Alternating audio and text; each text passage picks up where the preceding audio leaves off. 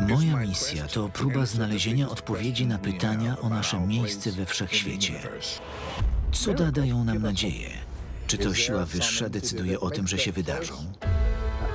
Byłem śmiertelnie chory. To cud, że żyję. Spadłeś z wieżowca, z samej góry i nie zginąłeś. Prawdziwym cudem jest przemiana umysłów. W poszukiwaniu Boga z Morganem Freemanem. Cuda w niedzielę o 21.30 na National Geographic Channel.